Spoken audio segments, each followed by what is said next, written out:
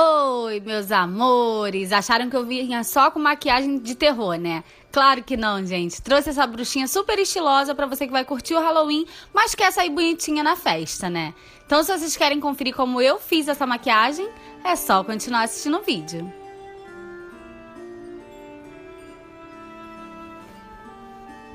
Bom, vou começar com um primer em todo o rosto, né, para preparar nossa pele. É, eu tô usando esse da Revlon porque eu acho ele ótimo, ele tampa super meus poros. Base eu tô usando a Health Mix da Bourjois, acho que é assim que fala, gente. É, usa a base aí da sua preferência, pode ser qualquer base. Prepara a sua pele normal, como se você estivesse fazendo uma maquiagem normal, né? Não de, de bruxinha. então vou aplicar em todo o rosto.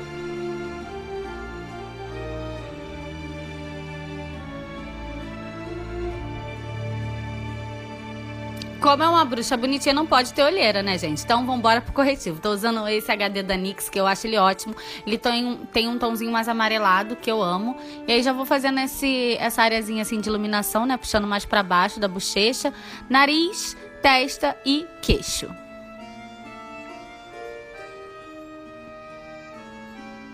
Vou espalhar tudo com uma esponjinha umedecida, dando batidinha, sem arrastar o produto para não tirar ele do lugar. Pó eu vou usar esse da Revlon pra selar tudo e a nossa maquiagem poder durar nossa festa de Halloween toda.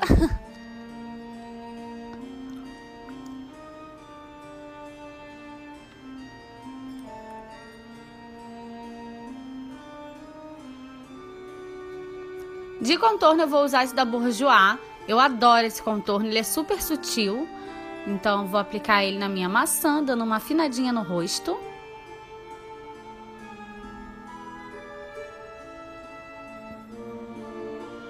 Eu peguei outro bronzer, que esse é um pouco mais potente, um pouco mais escuro, mais puxado pro dourado, para intensificar esse contorno. Achei que ficou mais bonito e deixou mais marcadinho.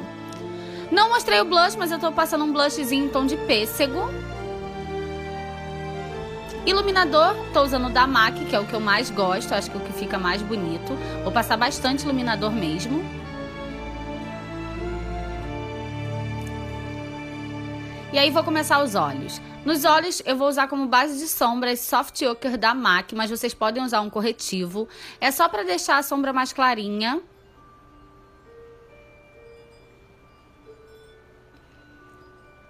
Logo em seguida, com um pincel fofinho, eu vou vir com um marrom bem clarinho e vou começar a aplicar no meu côncavo, côncavo, eita, com movimentos de vai e vem circulares. Em seguida, eu vou aplicar uma sombrinha pérola, meio esbranquiçada, abaixo da sobrancelha, para deixar essa sobrancelha bem iluminada. E aí eu vou vir com outro pincelzinho de esfumar, nesse tomzinho aí de lilás, e vou passar no côncavo, para deixar esse côncavo mais lilazinho mesmo, mais quente. Bem sutil, tá, gente? Nada muito marcado, não.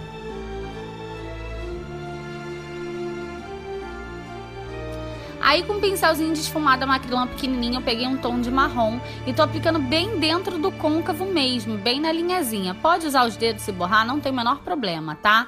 Ó, vocês podem ver que eu borro, passo o dedinho e continuo com um pincelzinho de esfumar bem dentro do côncavo mesmo, para dar mais profundidade. Volto com o pincel de esfumar, limpinho e esfumo tudo que nós aplicamos.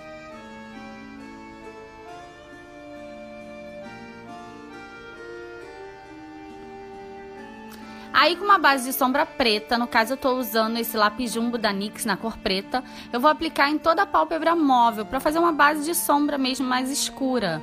Tá? Vocês podem ver aí que eu vou aplicar sem nenhuma pretensão, ó. Vou passar o lápis, depois vou vir com um pincelzinho de cerdas sintéticas, só ajeitando mesmo.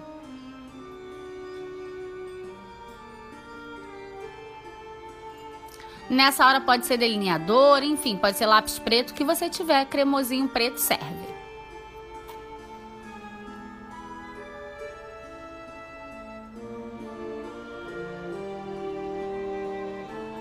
Volto com aquele pincelzinho da Macrylan no meu marrom bem escuro e vou esfumando a borda. Lembrando que é bem difícil esfumar a borda de coisa cremosa, então vai precisar de muita paciência.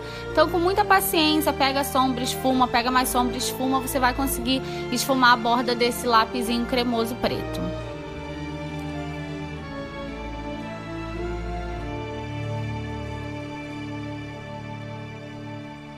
E aí eu vou vir com um pincelzinho fofinho, uma sombra preta, selando todo esse lápis cremoso que nós aplicamos na nossa pálpebra.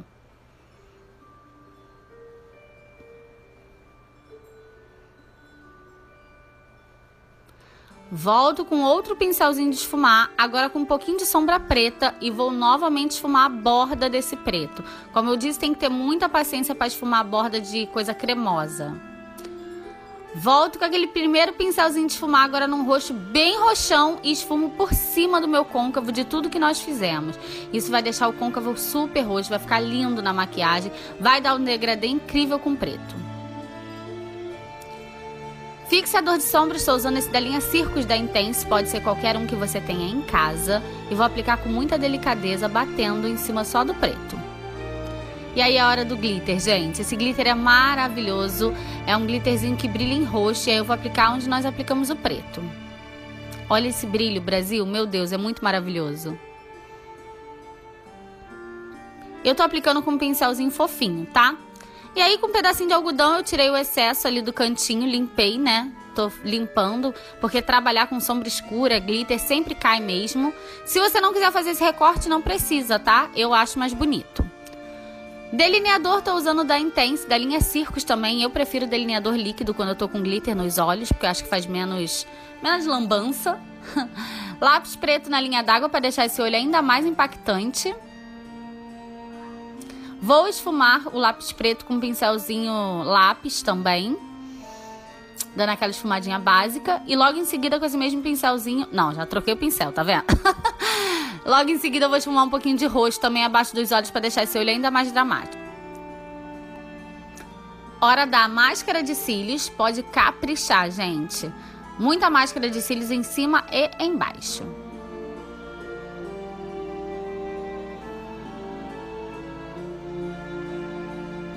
Nos lábios eu tô usando esse batomzinho aí da Color Make, esse é um roxo, e eu vou fazer um ombre lips nesses lábios. Então o que, que eu vou fazer? Apliquei o batomzinho roxo em todo o lábio, esse batom é lindo, super pigmentado, e logo em seguida com o batom preto também da Color Make, a pontinha dele eu vou fazer só o contorno dos lábios, pra dar esse degradê que fica lindo, lindo, lindo e deixa a maquiagem super glamurosa.